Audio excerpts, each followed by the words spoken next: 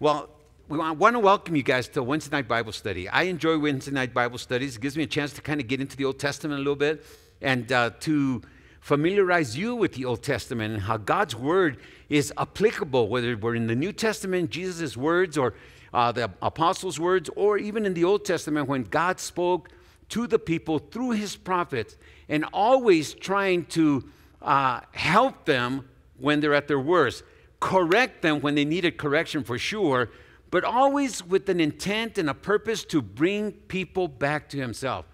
You got to love that about God. When He says He loves you and you belong to Him, you really do. I mean, you might mess up, you might be a knucklehead, and He might let you suffer some consequences for that.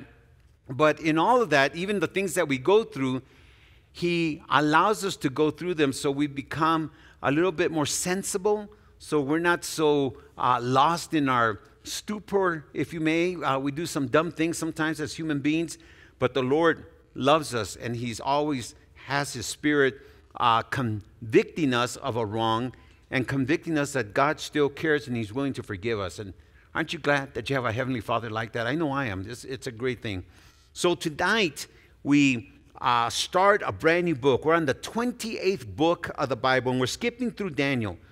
Daniel would be our next book, usually uh, following Ezekiel, but because we did a Sunday series on Daniel before we did Revelation, I thought that would uh, go ahead and skip it at this time and go on to the next book, which is Hosea, the 28th book of the Bible, as I said.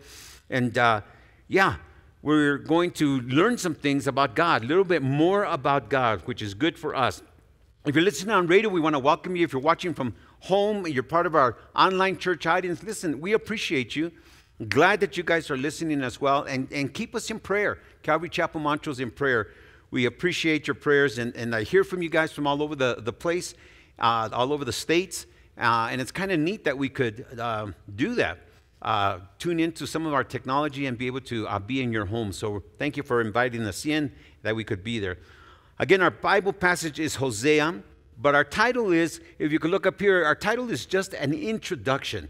I want to introduce this book to you. I want to let you know who Hosea was. I want to let you know the purpose that this book has been written. I want you to understand uh, how God is always, again, looking to uh, have his family, you and I, the folks of old, you know, to uh, bring them together to him. And so he allows things to happen. So, in that, you're going to see, or we're going to grow in learning a little bit more about God. Uh, sometimes we say, I know the face of God. I know how He deals with us. I know when He looks at us. But Scripture is the real revealer of who God is. It's like pull back the curtains and let you know who God is. And so we're going to see this through this book.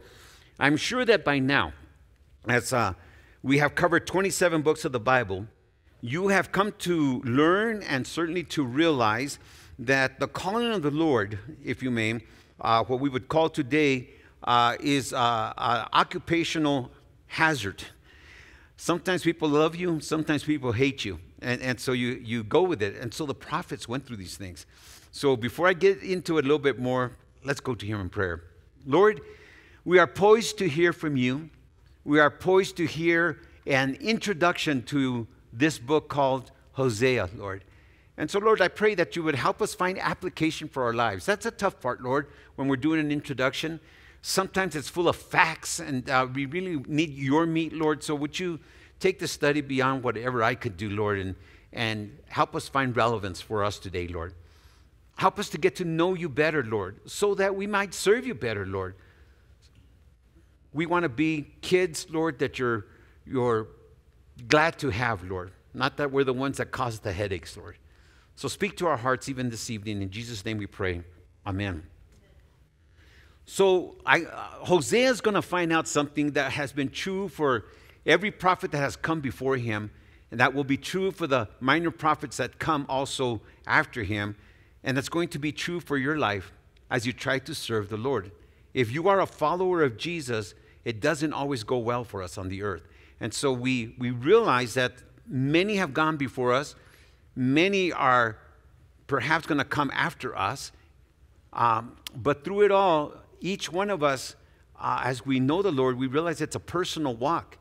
It's not my wife's walk, it's not my kids' walk, my grandkids' walk, my parents' walk. It is our walk, your walk, your individual walk with the Lord. When you close your eyes and take your last breath, uh, it's you and the Lord. No one else stands with you. No one else is going to be with you. I mean, we're going to all be together when we're all after the resurrection and we're before the Bema seat and, and we're hearing this and we're hearing that and applause are going and this applause are going on for the work we've done. But when we die, it's you and the Lord. And so you and I need to be ready and we need to know the Lord. You know, I always talk about death and are you ready for death? And uh, again, uh, a friend of mine, Brian Klein, that used to be here with us at church all the time, um, passed away uh, a, th- couple Thursdays ago. And uh, it was interesting because what's interesting is that I golf with him, and I've been golfing with him for over almost a couple of years now, every Monday when we can get away. And so we golfed on Monday, and Thursday I'm at the airport ready to take off, and I get a phone call Brian passed away. And I couldn't believe it. I, it just hit me. Brian is three years younger than I am, and, and uh, I'm, I'm saying, wow, Lord, we just played golf. How can this be so quick?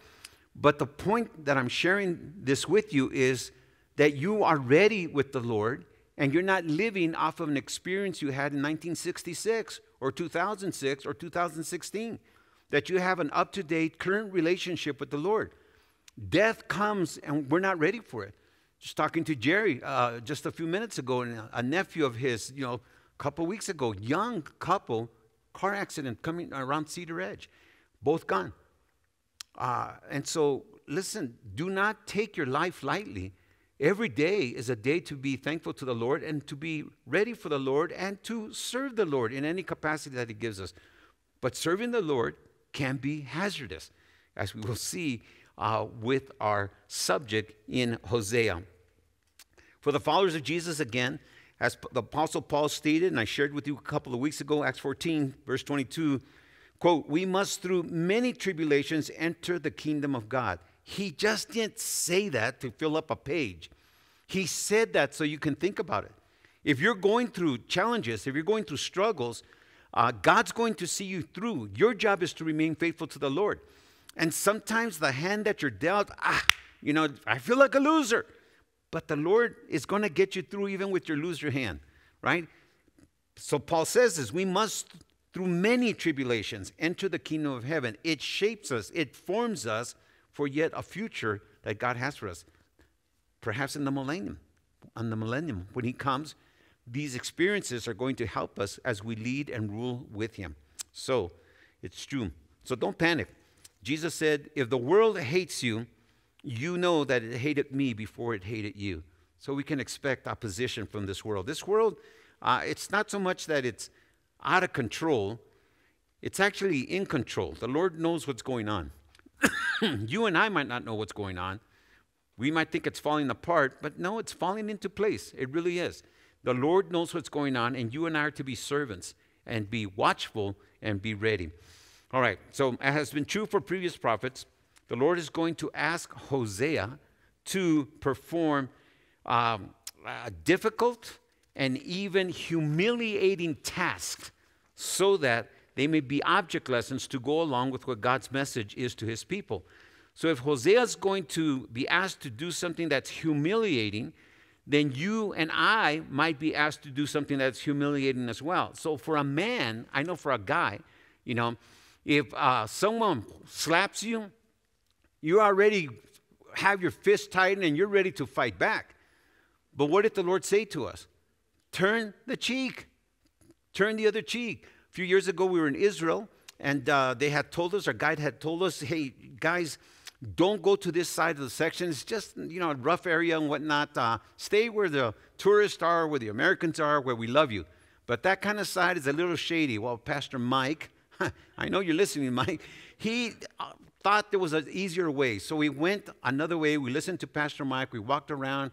And what we thought was just around the block was not. It kept going and blah, blah, blah.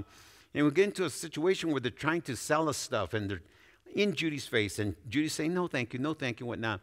This Arab guy, yeah, I guess it was, spit on Judy. So, you know, what does that do to me? How have we been raised? You know, it's kind of like old Kenny Rogers song, you know, son, you know, be at peace whenever you can, but sometimes you got to fight, right? Whatever. So I'm getting ready to rear up, and as I'm looking behind the other people that were there, the Arab guys are coming out. So if I get into it with this guy, none of us are going to make it back. So I looked at Judy and said, Take one for the team, honey. Let's get out of here, you know, and walked away. But I say this to you because God is going to ask Hosea to do something very, very uh, humiliating in front of people, something that you won't do in front of people, something that you would kind of be like this. Really? Are you really going to do this? And, and if God asks you to do something because it's going to have an object lesson for the rest of the people and you're serving the Lord, you must be obedient. And so that's why he says to us sometimes, turn the cheek. So, uh, as we see this, at the beginning of Hosea's prophetic ministry, the Lord told him, here it is, to get married and announce that he had chosen a bride who would be unfaithful to her marriage vows, right? Her adultery, then, because she's going to commit it, her adultery would give a clear picture of Israel's unfaithfulness, unfaithfulness to her covenant God. God made an agreement with Israel. If you do, I will, you know. And so Israel of old is God's wife. We, the church, are Jesus' bride. So understanding those kind of terms, if you break those kind of relationships, uh, or relationship with the Lord, He notices. He's jealous. He cares for you, and He doesn't want bad for you. So he's, he's, Israel at this time has slipped. And when I talk about Israel during Hosea's time, we're talking about the northern 10 tribes, basically. Judah is not perfect, down in the bottom, the last two tribes, right? But uh, it's important that you know that the focus is going to be on Israel. And remember, Israel is the one that said, uh, you know what? We have no part with you. Uh, Solomon's, um, um uh, after Solomon, uh, and they decided to go their way. So they became mavericks and went to the north, 10 tribes. And so they're called Israel at this time in history. And Judah and Benjamin uh, remain, and they're the Davidic, uh, they're under the, God's hand, really, and the rest are kind of like just being rebellious and whatnot. And Israel never had a good king. In all of that we read of those 10 tribes, they never once had a good king. But what hurts? What hurts is a civil war. What hurts is God's people against God's people. 10 to the north, 2 to the south, but they're still God's people. And it's not like He doesn't give them prophets and, and talk to them. He wants them to be together, but they're not. They kind of like you and I have our own thoughts and do our own things. And it's, it's sad. It's a sad situation. So, excuse me. Hosea chose then, God says to him, I want you to get married.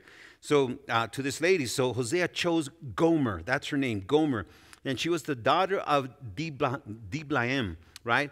And and as his wife, uh, they had three children, each of whom they had three kids, and each of these kids, uh, the, uh, God gives them the name, and the name is a symbolic name. It's going to mean something because God's again speaking to His people and, and you remember when we were uh, talking about, when we were in Jeremiah, God would give him some action sermons. So he'd take a pot and break it. And then he said, This is what you guys have done. You've breaking, broken our relationship. So Jeremiah had action sermons. And right here is an action again. And God's intent is for the people to see what you're doing, you know, and they're so drunk in their ways that they don't want to see the way to truth, kind of like America is right now right? uh, and, and so God speaking to them through this real example, through his prophet. So uh, Hosea and Gomer uh, have three kids. Uh, again, of whom each received a symbolic name from the Lord. So I want to share with you number one. Number one is Jezreel. If you look up here, right? Jezreel was the firstborn son, uh, and he was a reminder of the atrocities that occurred at Jezreel. Jezreel is a city, a place that uh, God's people did some pretty bad things, horrible things. They got into idolatry. They started following the pagan ways. They started just completely putting God out of the picture. And so God is going to remember that and He's going to judge them for that. So He gives them their firstborn son, and his name is Jezreel. So God will soon judge Israel for these sins and appropriately through a military defeat at the same city. When they are defeated, Israel of north, it's going to be by a military campaign of the Assyrians, and it's going to be at the same place where they really started going nuts against God's ways, right? Uh, secondly, uh, the name is Lo Ruhamah, right? Her name means not loved. This is what this name means, not loved. So this announced, church, this announced that the Lord would temporarily, remember that word, temporarily withdraw his love from Israel. Again, we're talking about the northern kingdom. What would cause God to make you feel like he doesn't love you? You know, hmm, who did something wrong? You or God? Moi, right? So Israel, the northern kingdom, has been doing bad stuff. And so if God withdraws his hand from them, people are going to say, You're not loved. If you were loved, you would have God's blessing, right? So it's, uh, it's not a, a, good thing for them. If we take that, uh, I'll get, that, get into that in just a second. I'm going to bring that to us. Uh, number three, right? So Hosea's other child means eh, her, the name is Lo Amim, right? Meaning not my people. Not my people. Well, we're the ones that are, today we call ourselves Christians, but if God's not for us, He's not doing anything for us, it's almost like we're not His people. Why is America or why would we say America is not God's nation? You know why. You know what the majority of our nation, where their head's at and what's going on, right? So it would seem like if the blessings stop for America, it's almost like, well, what happened to her God? You know, it used to be in God we trust, and you have heard the arguments recently, in uh, recent years, last 10, 15 years. Uh, let's take that out of the coin in God we trust. Let's remove that. That's where America's head is. And so when we do that, then God says, Oh, you want nothing to do with me? I will withdraw my name over you temporarily. And it's always temporarily until people realize that was a dumb move. We better get back to the Lord. And they come back. And when He allows droughts, when He allows this and that to happen, it's God calling His people back to Himself, to be asking Him for the rain, to be grateful for the rain that has fallen.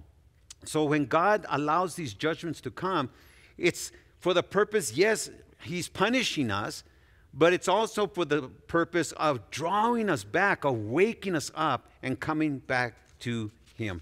So again, uh, this name, uh, Loami, uh, anticipated the, this severe disruption of the Lord's covenantal relationship with His people. And, and God does this, He will disrupt a continued, something that's been continued, something that continues our relationship with the Lord. It seems like sometimes there's a disruption. Why? It's because the people have turned their backs on the Lord. All right? So, because of Gomer's adulteries, the marriage disintegrated. And she eventually, check it out, historically, she eventually became the slave or the concubine of another man. This is what happened with Gomer, right? However, what does the Lord do? Hosea, I called you. I called you so you would be a clear picture to the people. So the Lord instructs Hosea to buy back his wife. What? She's an adulteress. She did this, she did that. Da, da, da. Yeah. She's with another man. Yeah, yeah. Go buy her, offer the guy the money, and get her back. Hosea's act of mercy toward his wife, again, was another clear picture of the Lord's great love for Israel. God will not turn his back forever. He'll have this disruption, so let these things happen so that they will see, so that they will want to come back to him. So here's the question How does this relate to us today? What can we draw and, and how do we find an application for our lives today? Well, number one, Jezreel, right? Let's talk about that. Have you committed wrongs against the Lord? That you have not repented of? You know, have we done that and we've never gone back to the Lord? Are you here in Montrose, Colorado, because it went really bad for you in the last city that you were in? we want to say welcome, but we want to say get right with the Lord. Get right with the Lord. Get you right with the Lord so your family can be walking right with the Lord. If you are not right with the Lord, it's going to affect everything. And just because you move from city to city, we don't leave it there. God's going to bring it to your attention. We must take care of the bads that we did in other cities or whatever. And the way we do that is we come to the Lord. Lord, forgive me for my dumb things I did while I was in Germany, while I was in East Los Angeles, while I was in, you know, Orange County, while I was whatever. Go to the Lord and take care of that because it'll always be a Jezreel for you right? And so we need to, to think about that. Secondly, lo ruhamah, right? Not love. Do you feel today, you who are listening on radio or, or, or tuning in, do you feel unloved by the Lord, right? He, he does love you, but just, but just maybe you are hanging on to things that puts a wall between you and the Lord. So when he removes his hand from you, do you feel unloved? All of a sudden, everything's going wrong for you? Maybe you need to think about this. And since you tell the Lord you love him, you want to be loved, then he says, Show me by being obedient. You know, I want obedience more than sacrifice. Don't be giving me all your tithe money. Don't be giving me special presents. Don't be volunteering at church if you're not being obedient when you're living at home, when you're out in Montrose doing your thing. You must be obedient to the Lord. He desires our obedience more than sacrifice. It's, it's a big thing to the Lord that you're faithful to Him since He's the one that saved you. He's the one that is brought you out of darkness. He wants to spend eternity with you. He loves you. He really, really loves you. So it's up to us. If we're not feeling loved, there is something wrong. If you feel like the Lord, He loves everybody else, but He doesn't love me, well, maybe it's me. And not maybe, it is me. You know, so we need to be thinking about that as well. He, he does love you, but you're hanging on to stuff that is creating that wall, as I said, between you and Him. So repent. Let whatever is holding you or keeping you from the Lord to have a pure and 100% relationship, let that go. Why? Because He's jealous for you, man. He is really jealous for you. He loves you. Third, third one, lo amim, not my people. Church, we're either completely His or we're not. Where are you? You're either 100% His or you are not. There is no middle ground. If you live like a saint on Sunday, but Monday through Saturday you're acting out like the devil's kids, uh, that's a problem. That is a big problem. And I can't tell you how much that is true. It used to be true in my house when I was growing up. On church, we were saints. Monday through Saturday, Saturday, we were ain'ts. You know, we weren't saints. So if this is you, repent. He wants you as his child 24 7, right? 365, right? He wants you as his child all the time, not part time. All right, let's talk about the author, the date that uh, this was uh, written. So Hosea is the author. He is the son of Beeri, right? And he prophesies during the 8th century BC. So that's 800 years before Jesus uh, is born. His ministry began while Uzziah, also known as Azariah, was king of Judah, and Jeroboam the second was king of Israel. So you have two kings, the, the bottom of the, the two uh, from Judah and the ten from uh, Israel. Hosea, Hosea's prophetic career spanned the reigns of the Judean kings uh, Jotham and Ahaz, and it ended during Hezekiah's rule. Hosea also witnessed the reigns of at least six kings of the north, although he did not name those kings. North, I mean Israel, right? But he doesn't name any of them in his prophecies. Why? I don't know, but I venture to guess because they weren't acting like his people. They were doing bad things. Remember, Jeroboam um, when he became the king of Israel, the north, because he wouldn't follow David's sons and, and the kingdom that God had established, he said something that really caused a big problem. Actually, caused this to happen. He said, Guys, we don't have to go down to Jerusalem to the temple to worship. In fact, I'm going to create a temple up here so that you don't have to go down there. Some of the guys are saying, the faithful are saying, but God's word says that we must worship at the temple. And he's saying, yeah, yeah, yeah, yeah, but you know, we don't have to go down there. And really, he's thinking that the people might go and betray him or whatever. He's, he has personal reasons for this. And Israel, the north, slipped and slipped and backslid and backslid. They made their gods, they made their capitals. They started trying to duplicate what was going on in Jerusalem, the real deal, with the fake deal because they were all in rebellion. All 10 tribes were in rebellion to God's plan. And now we're not saying that, the, that uh, Judah, Benjamin and Judah, uh, and Judah were perfect. Never said that. But let God work out the government. Don't go against God's plan. If He has made something clear, uh, that's the way it is. Such as, you should not steal, but everybody else is stealing. You should not steal. Don't lie on your taxes. Get someone to do your taxes so they keep you, you know, you want to say, but, but, you want to say, this is gray area. You know, we always want to do that. Don't, don't even go there. You know, as a Christian, let your people do the taxes or whoever does the taxes. And if you're doing it, be black and white. be clear. Don't go into the gray areas. And if you say, but others do it, I just heard so and so got a big thing because he said this and that. It sounds shady. It is shady before the Lord. So even if everyone starts doing something, don't you do it. So that's what happened to the north. They started having their own temple, they built their own, made their own things to God, and they just got into idolatry really bad. So it wasn't good, right? All right, the settings. Hosea began prophesying during the time of general prosperity. In other words, things seemed pretty good. Uh, when, when, uh, when Hosea came on the scene, the northern countries, uh, the north Israel, was doing good. Financially, powerfully gaining land, they were doing pretty good, right? Uh, Jeroboam, the king of the north, had extended Israel's borders through several military operations. So he was successful uh, in his military campaigns.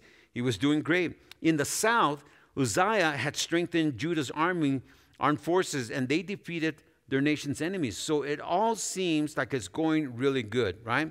And there's some outward success of these two nations. They look good, but signs of trouble were on the horizon. What happens when someone, uh, and every guy, again, that has punched the other guy in the nose and the other guy couldn't fight back, you feel pretty good about yourself. You even re- win the respect of some other guys, and not everybody picks on you. And what happens to uh, people uh, is the same thing that happens to nations. These guys started feeling pretty strong about themselves. And once again, when you feel good about your army and you feel good about what you've accomplished, you stop depending on the Lord. You even stop asking, should I go to battle? Should I not go to battle? Should I take this job? Should I not take this job? You know, and, and it's a problem with us. Again, God wants us dependent on Him, not independent. God wants you holding His hand, not letting go of His hand. Hey, I'll catch you later. When things get tough, I'll never forget you. I love you. You're my Jesus. Doesn't want that from us. He wants an everyday relationship with the Lord. You know, I need a car. All right, the Lord says, go get a car. You know, you don't have to be asking what color, what make, or what. That's not the, the Lord's going to let you decide. Go get your car. You know, He's already given you the okay for that. But at the same time, when, you know, He just likes to be involved.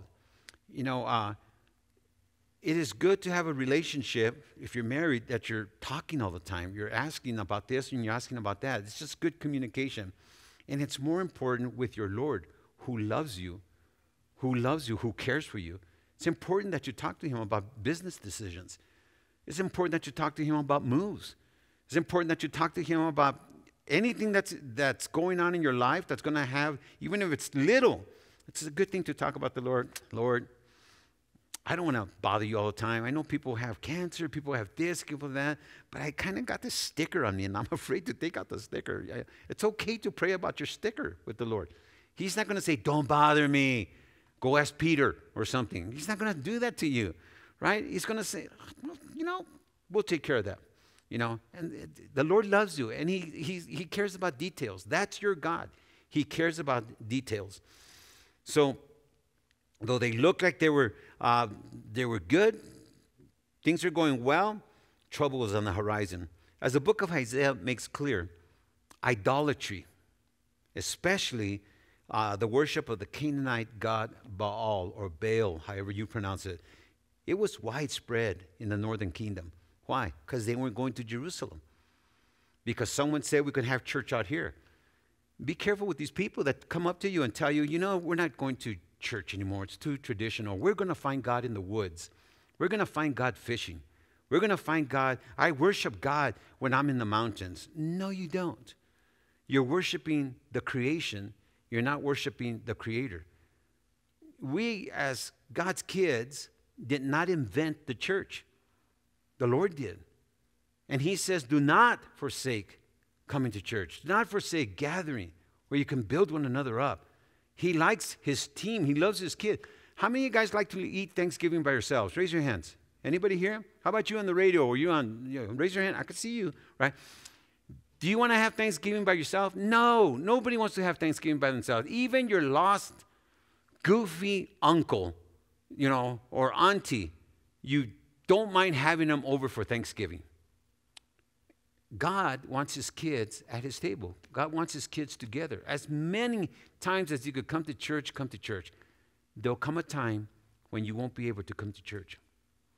There's going to come a time when the strength of your youth will fail you as you get older, where illness or a sickness will come. You won't be able to make it to church. When I had my knee first done and I couldn't be at church, man, I had the, the, the YouTube thing or whatever just that we catch it on. It worked. It worked great, and I was glad. But guess what? It's not the same as seeing your faces. It's not the same as saying hello to you. It's not the same as having a hug from you or me hugging you or whatever. It's not the same. God wants his kids to gather as often as we can.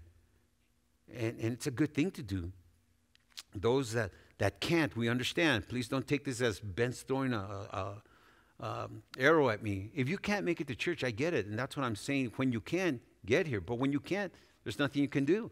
We get older and we don't have that strength anymore. We won't have transportation. We get called from Delta or Cedaredge sometimes. Can you bring us to church? I'd like to, but I can't drive up there Sunday morning and then come back up here and have church. We just can't sometimes. So people don't make it to church. Uh, a lot of people who are in those senior homes can't make it to church, right? They just can't. So when you can, you should come. Do everything you can until you can't anymore. All right.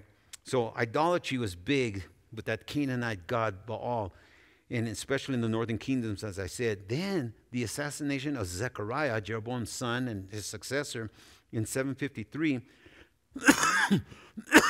excuse me, BC, ended Jehu or Jehu's dynasty and introduced a new era of political turmoil. Before you would read this and you'd think about, wow, what does politics have to do with anything? Has politics not separated our country? Has politics not put us like this with each other in many uh, situations? Uh, politics has a great effect on the people, on a nation. And when, when the nation is split, politics is usually the thing, the devil's tool, to get everybody fighting with each other. And so for the North, it became, uh, uh, you know, who's going to reign and who's going to kill who and who's going to assassinate one. It started going really bad up there.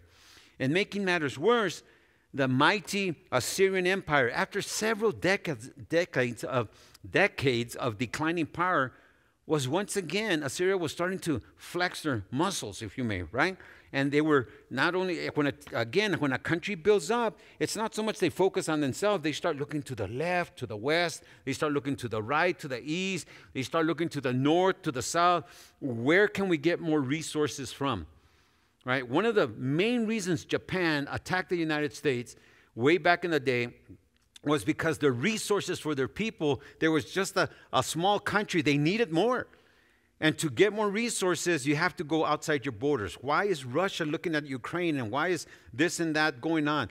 Because countries start looking elsewhere to gain their power. So back in the day, Assyria started flexing again. They were nothing at this time.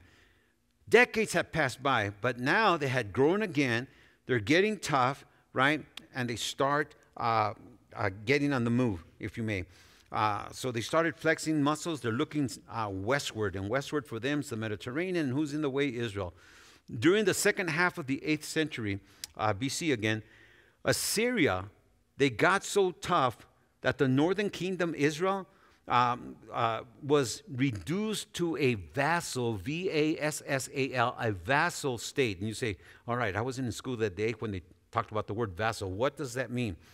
What that means is um, they required by treaty to pay regular tribute to Assyria, such as if China had the United States surrounded and said, by the way, we own 75% of Los Angeles, we own 75% of New York City, we, know, we own all this stuff, uh, and we're going to actually come against you, and we already have your. Er, strategically, we're just going to beat you. You don't have enough bullets to kill all our people that's coming to war. Uh, so you have a choice. Let your people live. Continue with your United States government, but you will pay me, China says, 200 million a year, which is cheap. But if you pay me 200 million a year, I will not destroy or call the debt in on America. So America would think, man, it's true. If the, all their strategists, all the guys got together, they're right. Checkmate for us. We can't fight back. We're going to lose everything. Then, we, if we agree to pay China, we would become a vassal state. That's what a vassal state is. So Assyria comes around Israel, the 10 tribes of the north, and says, dude, you don't have a chance against us. We're mightier. We'll kill, we'll slaughter your grandma, we'll slaughter your grandpa, we'll slaughter the kids, the pregnant moms. We are going to mess you up. Remember, Assyria, their armies were horrific. One of the worst armies in the world that would how they would treat prisoners. And if they were taking you back, they would put fish hooks on your back, they strip you down naked with big hooks, they would drag you. Come on, we're going this way. And the people are dying all the way over there. It was horrific the way it was. So Israel decided, mm, we're not going to fight back. The 10 tribes in the north. They became a vassal state and paid what they asked them. Then, after a couple, two, three years, they became a puppet state. What does that mean? That means you're ruled by someone that Assyria assigned to rule you. So it would be like the United States. If we became a puppet state, it would be like China, using that example, would have a Chinese guy being the president of the United States running it for China. That's what a puppet state would be, right? And finally, they, they became, Israel became a province, which means you're just ruled by an Assyrian governor. So that would mean the United States would be the governors now. Uh, in the 50 states will all be Chinese and they would rule uh, our country. So that's what, what a vassal state that's what a puppet state, and that is what a province would look like. And this happened to Israel. God allowed it. Why? They weren't worshiping in Jerusalem. They set up their own camp, you know, so God temporarily, he removes his blessing from the nation of Israel. So, church, Judah also declined spiritually. They went downhill and was torn by political dissension. Political dissension again. Again, kind of like America we're split in half right now because of politics. King Ahaz rejected Isaiah's offer, the prophet, of divine protection. And what did he do? Well, he embarked on a pro Assyrian takeover of the Palestinian states. So he reduced Judah to a vassal status and he drained the nation's economic wealth. And that's what they're going to do. They will drain you of your money. Inflation does that. And if we have presidents that are not looking out for the people, then the price of eggs goes up, right? Price of bread goes up. We happen to be again in um, St. Thomas, and we're down to the last few days, and we have bought enough groceries at the beginning to keep us going the whole week, so we're not eating in restaurants all the time, going broke, right? So Judy has to go out to the market, and uh, it was right there at the resort. So she goes, then I'm going to get go get some bread, loaf of bread. It's just a few steps away, a couple floors down from where we're at. And she comes back, How'd it go? And her eyes are like saucers. I said, What happened, babe? What happened down there? And she's looking at me, 12 bucks for a loaf of bread. I said, What kind of bread is it? I'm thinking it's something special. Nope, not even wheat, not even this, not even a Wonder Bread or a City Market or a Kroger seal on it. It was just bread. You know, 12 slices, 12 bucks. You know, well, man, we better make half sandwiches for our meals from that point on, you know. It's great to go on vacation, but you better hang on to your wallet, you know, and you better know how to plan and, and get used to ramen or something because, yeah, it's, it's not sometimes all what it seems like it's going to be. Anyway, so King Ahaz rejected Isaiah's offer, and uh, it became a vassal state. It drained the nation uh, economic, of its economic wealth. All right, let's talk about structure. When we look at the book of uh, Hosea, how is it structured? How do we look at this book and we, we could look at chapter one? Sometimes I just like to read through and I, I take it verse by verse and stuff. But when you're introducing the book, you get to kind of like get away from the book and take like a helicopter view and look down. How is this book, all 14 chapters, how is it structured? Well, we will note the book of Hosea fluctuates between judgment and salvation. Each of the book's five major sections begins on a sour note. Sorry, but it begins pretty sad. It's pretty bleak when you begin to read. And God tells him to pick up a wife that's a prostitute or something like that. And we'll read that when we get to it, right? Uh, so each one begins uh, on a sorry note. But here's the thing with how it's structured it concludes with a very positive affirmation of God's commitment, how He still loves His people. So, no matter how it starts, it starts pretty bad, but the way it's structured in every part, section, those five sections that we're going to read about, it, it ends with a, a, a positive affirmation, God's commitment to His people, and the expectation. The people always are expecting that God is going to restore us.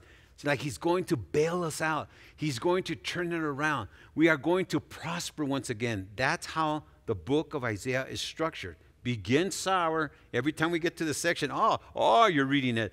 But it ends very positively. The people have hope. So for some of us, let me put it this way we start out our day without prayer Sometimes we start off our day without spending any time in a devotion, not even a one pager, not even a half a page. Oh, it's too much. Or you forget about it. We just don't do it.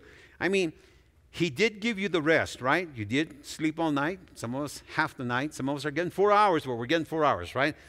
Uh, he did give us rest. He has placed a roof over your head. Is anybody still right here living outside? You know, no. He put a roof over your head no matter where you're living, right? And He provided breakfast. Some of you don't eat breakfast, right? Judy and I hardly ever eat breakfast. We love to when we get a chance to, and we'll run to Starvin' Arvin's or someplace, Denny's or whatever. But sometimes we don't get a chance because we're on the phone, we're running, someone has an appointment somewhere. But we are grateful for a cup of coffee. Anybody? Do we have any coffee drinkers here? Raise your hand if you're, right? I just found out this last week in St. Thomas that my wife can only go 2.5 days without caffeine. and and uh, if you don't, if she's not with her Java, you know, if she's not drinking something with a little caffeine, my wife, she's very kind, patient, you know, very nice, but I could see something's going on. You know, and, you know, it's just get her some caffeine. We know that's the answer. But uh, what I'm trying to say is we have started off our day and God has provided for us. Then it's off to work or whatever uh, is going on until, until, until something goes wrong. And when we try to fix it and our fix doesn't work, it gets a little bit more serious.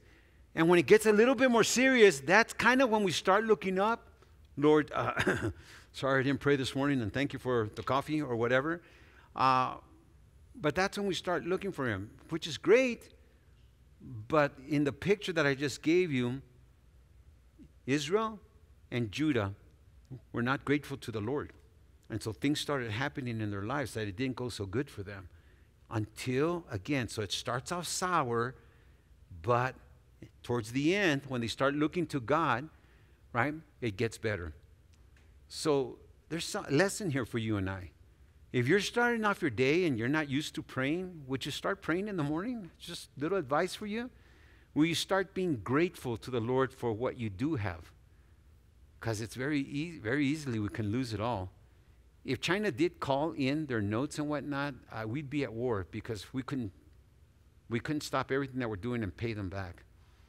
Uh, someone said that for every $10 you have in your pocket, about four of them belong to China. So you really got six bucks in the way the business is structured around the United States right now. It, it's just the way it is, economics. All right. So uh, it's when you realize that uh, things are not going good, go to the Lord. He fixes our situation. Why? Because He really, once again, He really loves you as an individual. That's who God is. Well, are, you know, my name is Bob Smith. There could be a lot of Bob Smiths, and there is a lot of Bob Smith in the world. But if your name is Bob Smith and you gave your life to Jesus, He knows you.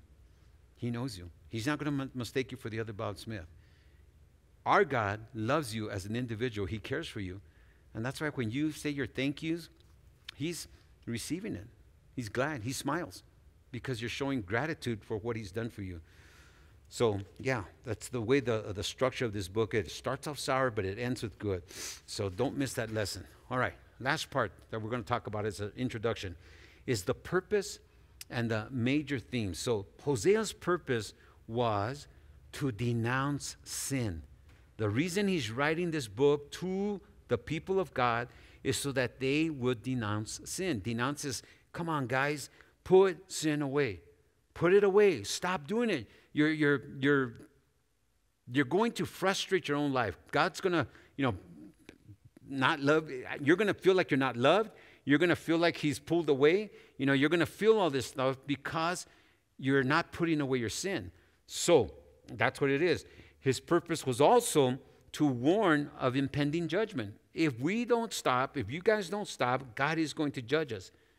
But also to assure the faithful, and there's always a remnant. There's always those people in a, in a state, in a city, in a town. There's always God's faithful people, and He wanted to assure them that God's love would win out in the end, as it will be for us. Again, through much tribulation, we must enter into heaven, but the point is, we do enter in, is it not?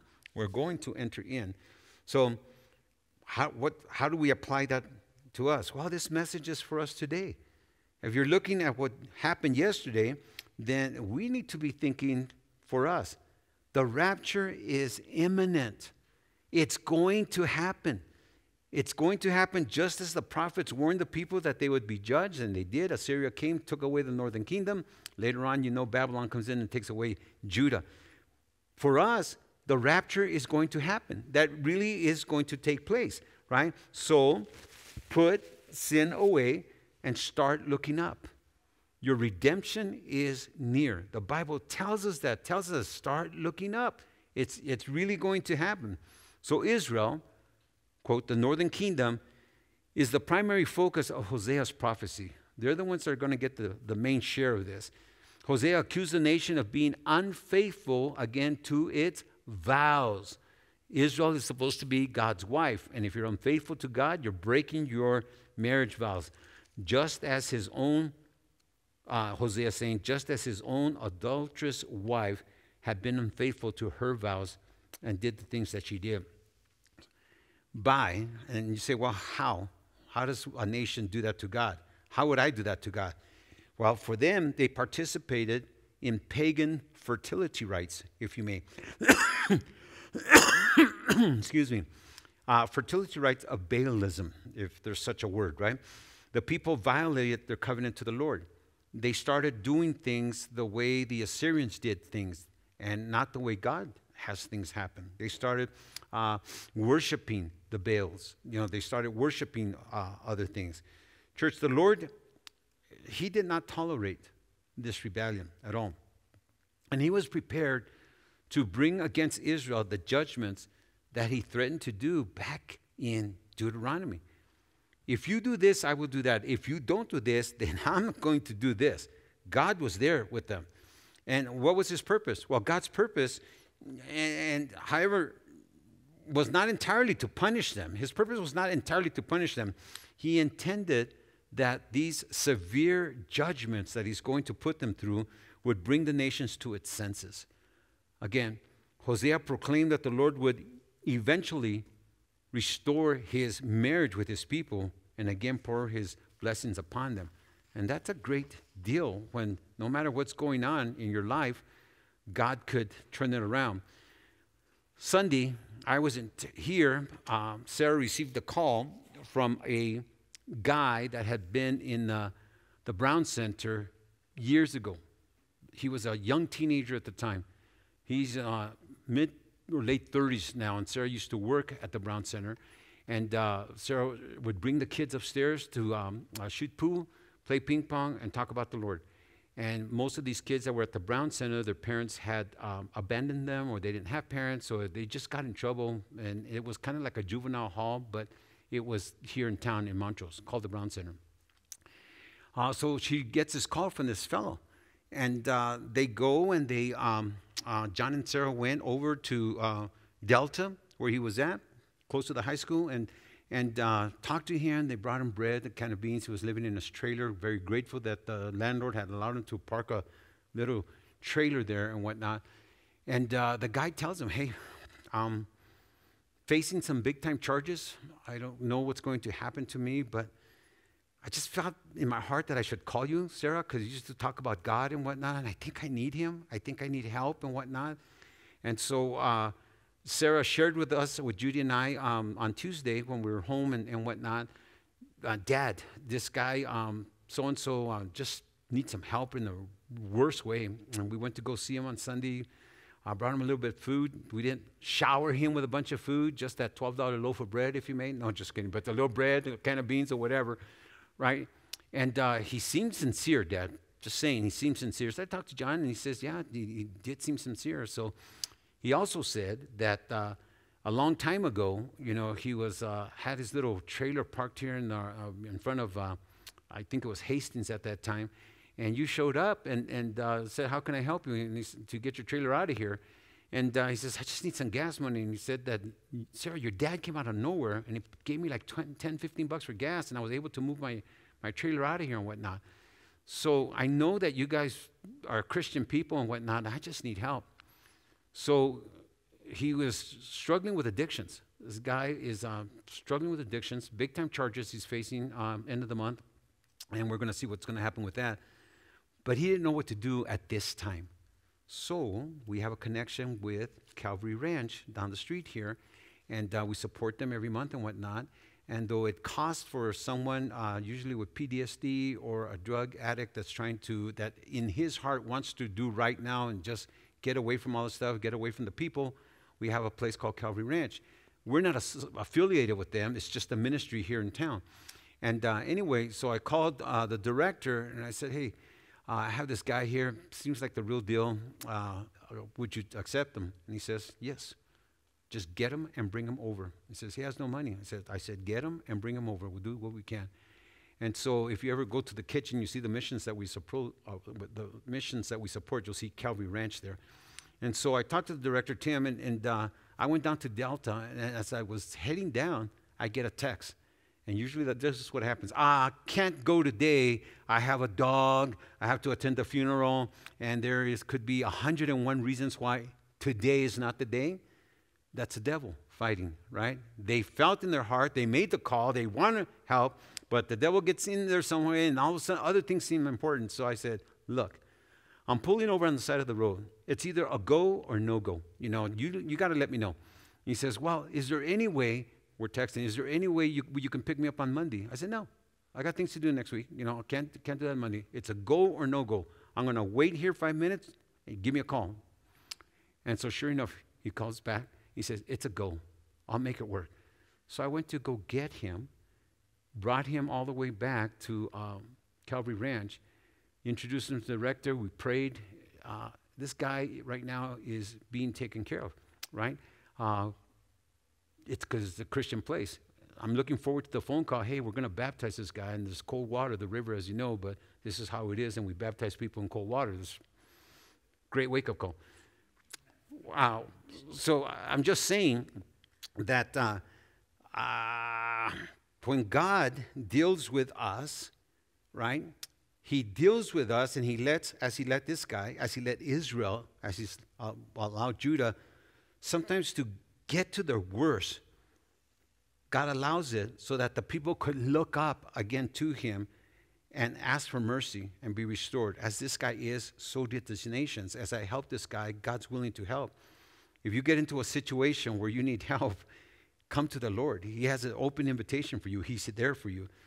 During the tribulation period, in the future, when that comes, God will pour his wrath on the people of the world for rejecting his son, for sure. Yet at the same time, he desires to bring people to their senses. All to the book of Revelation says his arm is stretched out, you know, willing to help. And if you're that person, or there's people that say need help, if they reach up to God, God will take them by the hand and pull them out of the darkness and help them. They still have to face their consequences. It's like we tell every inmate when we're in the jails, you're going to face consequences for your sins, but at least you're free on the inside of bars. You know, you're still free with the Lord. And so that's a good place to be. So Israel's covenant relationship with God is the heart of Isaiah's of Hosea's message. God delivered his people from slavery in Egypt, did he not? Sure he did. He established them as a nation, and he took great delight in them. He really did. He looked for a favorable response to his love and obedience to the commandments that he had given them to regulate the people's worship and daily activities. However, the people were ungrateful. Back to us. Don't be ungrateful to the Lord, right? The people were ungrateful, turning to other gods, violating the religious and social standards of God's covenant, and forming alliances with the surrounding nations. People that lean to other things, go to other places. Well, Pastor Ben, there's, there's other ways than just Jesus Christ. I tell them, no, there's not. Well, we're going to try. Good luck to you. You know, it's not out there. I don't even say good luck anymore. I say, wow, feel sorry for you. Jesus said, I am the way, the truth, and the life. There's no other way. You're, so close. Well, you know, narrow is the way to heaven, broad is the road to destruction, right? It's up to you. But when the people go, they, they, they put themselves not in harm's way, but you you become an open target for the devil to work in your life. So we introduce the Lord with them, uh, to them. So know this if God has established and has established a binding relationship, he demands absolute loyalty. Absolute loyalty to him. Do you hear that? He demands absolute loyalty. You try sneaking out to this way, the Holy Spirit's going to zap you and say, hey, man, what are you doing? We've been down this road before. You can't say, well, I'm just thinking I, I, I. I is the middle letter of the word sin. I. Well, I just think, oh, oh, your ego is getting in the way. Ego is an acronym for easing God out. That's what ego stands for. Easing God out. You think you're going to do it your way, right? Not a good place to be. Though Hosea, through Hosea, God announced that he would use severe judgment to free his people again from their stupor, right? Their spiritual stupor and get their attention. And this judgment, again, for them would take place like droughts, invasion by a foreign army, and then exile. You're kicked out of your own country. Right.